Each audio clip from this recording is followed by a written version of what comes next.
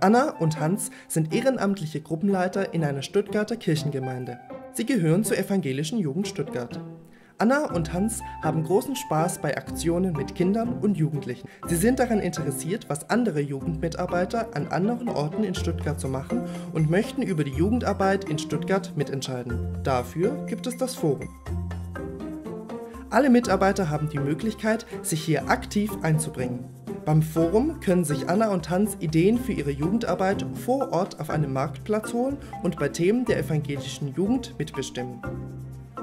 Sie haben auch schon eine Projektidee, die Sie gern beim Forum einbringen wollen.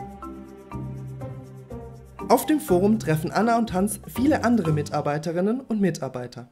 Einige kennen Sie schon von gemeinsamen Schulungswochenenden.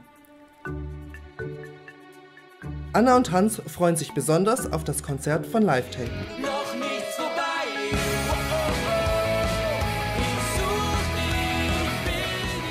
Bei der Wahl der Vertreter in den geschäftsführenden Ausschuss können alle Anwesenden abstimmen und sich zur Wahl stellen. Der geschäftsführende Ausschuss ist das Leitungsgremium der Evangelischen Jugend Stuttgart. Alle ab 14 Jahren können sich zur Wahl stellen. Hast du Lust auf Ideenaustausch, Mitgestaltung, Mitentscheiden und Begegnung?